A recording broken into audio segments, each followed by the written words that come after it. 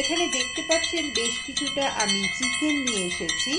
Around এটা পাঁচশো মতন চিকেন রয়েছে। একটু বড় বড় পিস হয় স্টুয়ের পিসগুলো এখানে আমি দেখুন সাদা গোলমরিচের গুঁড়ো, এই যে একদম হোয়াইট পেপার পাউডার এটা দিচ্ছি।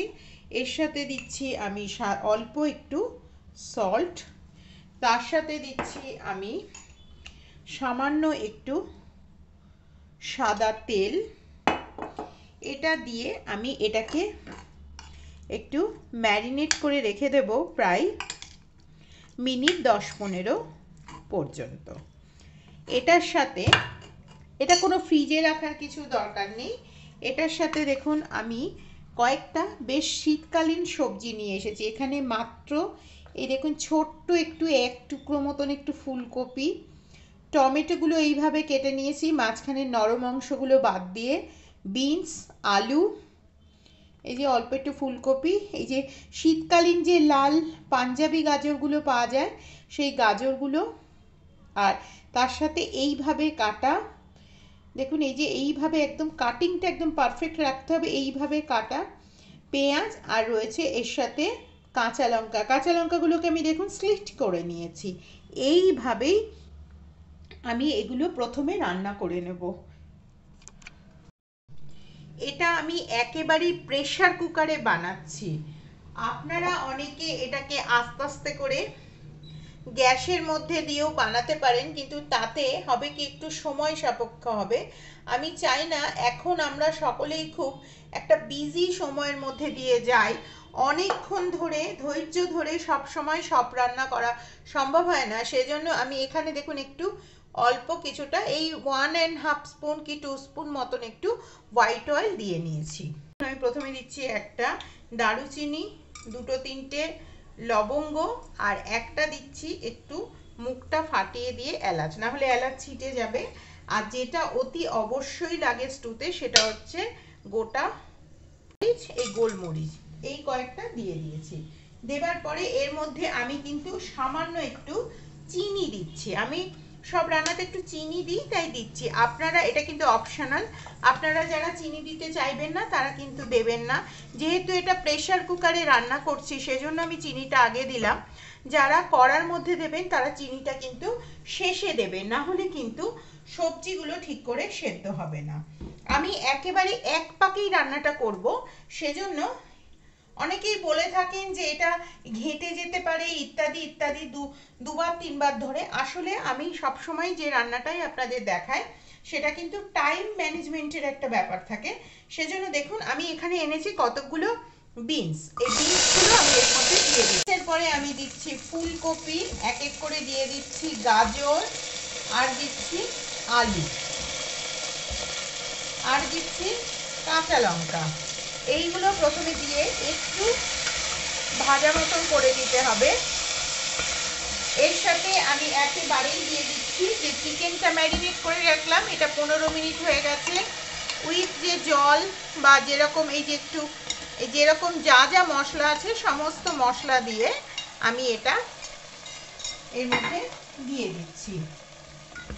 এটা একেবারেই একটা সোজা রান্না, কিন্তু খুব সুস্বাদু একটি রান্না হয়। এর মধ্যে এখন আপাতত কোনো রকম আর সল্ট দেবেন না। হাফ ধনে ডাস্ট আপনারা এটাকে পুরো পাউডারও দিতে পারেন, কিন্তু আমি একটু ধনেকে সবসময় ডাস্ট করে দিই। জিরেকে বাড়িতে যেহেতু বানাই, জিরের একটু ডাস্ট দিচ্ছি। আর দিচ্ছি অতি সামান্য পরিমাণে একটু, দেখুন লঙ্কা গুঁড়োর পরিমাণ, অতি জাস্ট ফর একটু দিচ্ছি। এটা দেওয়ার পরে এর মধ্যে আমি যেটা দেব সেটা হচ্ছে আদা এবং রসুনের পেস্ট আমি টু স্পুন মতন আদা এবং রসুনের পেস্ট দেব দিয়ে এটাকে একটু, প্রথমে একটু ভালো করে একটু ভাজতে দেবো। এইটা যখন ভাজতে দেবো, সেই অবস্থাতে আমি যে পেঁয়াজের কিউবগুলো কেটেছিলাম সেই পেঁয়াজের কিউবগুলো দিয়ে এটা প্রায় একটু মিনিট দুই তিন মতন এটাকে একটু ভালো করে ভাজা করে নিতে হবে। এটা প্রায় মিনিট দুই তিনের ওপরে ভাজা হয়ে গেছে। এবারে আমি এর মধ্যে দেখুন কিছুটা গরম জল দিচ্ছি। এর এই গরম জল কিন্তু স্টু যখনই বানাবেন, তখনই কিন্তু এই গরম জল ব্যবহার করবেন। অবশ্যই যেটা ব্যবহার করবেন না, সেটা হচ্ছে হলুদ। স্টুয়ে কোনো দিন হলুদ পড়ে না। দেখুন, খুব একদম গামাখা গামাখা আমি জল দিয়েছি, খুব বেশি কিন্তু এটা জল হবে না। আর এর সাথে আমি দিচ্ছি এই যে কিছুটা দুধ।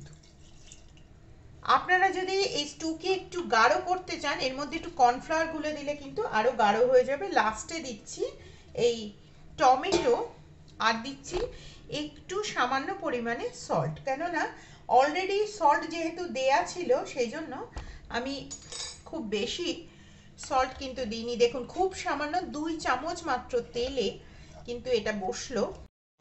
এটাকে আমি জাস্ট একটা হুইসেল দিয়ে নেব। টু দেখুন তৈরি হয়েছে। অনেকেই বলে থাকেন প্রেশার কুকারে বানালে ঘেঁটে যায় ইত্যাদি। আপনাদেরকে আমি সম্পূর্ণ দেখুন দেখাচ্ছি। এই যে দেখুন একদম পারফেক্ট এতটুকু চিকেনও ভাঙেনি। কোনো রকম কিচ্ছু দেখুন হয়নি এবং পারফেক্ট সমস্ত সবজি একদম ইনট্যাক্ট আছে। একদম পারফেক্ট তৈরি হয়ে গেছে। এই দেখুন আলু একদম গলেনি, তাই এবং সেদ্ধও হয়ে গেছে। একদম পারফেক্ট সেদ্ধ হয়ে গেছে। একটা শার্পেন জিনিস দিয়ে দেখাই, দেখুন, এই যে, একদম সেদ্ধ হয়ে গেছে, গাজর একদম সেদ্ধ হয়ে গেছে। এবারে এটার মধ্যে যেটা অবশ্যই দিতে হবে, আমি আগেই বলেছি, কর্নফ্লাওয়ার আপনারা দিতে চাইলে দেবেন, কিন্তু এই যে বাটার, বাটারটা কিন্তু দিতেই হবে। বাটারটা না দিলে কিন্তু এই স্বাদটা একদমই পাওয়া যাবে না। ওপর থেকে আমি দিচ্ছি সামান্য একটু গোলমরিচের গুঁড়ো, আর এটাকে আরও বেশি একটু ঝাল করার জন্য আমি এর মধ্যে আরও এক চামচ আমি হোয়াইট পেপার পাউডার দিচ্ছি। আপনারা যদি ওপর থেকে আরও কয়েকটা গোলমরিচ ছড়াতে চান, ছড়াতে পারেন, কিন্তু সেটা যে খুব বেশি অনেকে পছন্দ করেন তা কিন্তু নয়। ভাজলে মুখে যেরকম পড়ে, সেইভাবেই কিন্তু হবে। কাজে দেখুন প্রেশার কুকারের মধ্যে কত চটজলদি একটা সুন্দর তৈরি হয়ে গেল। এবারে এটাকে ঢাকা দিয়ে রেখে দেবেন ব্যাস একদম তৈরি।